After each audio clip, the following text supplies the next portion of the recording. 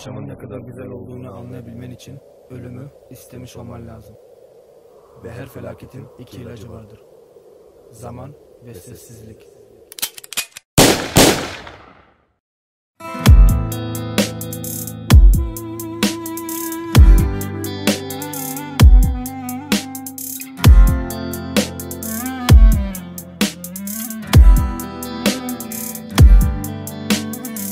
Yanına yandı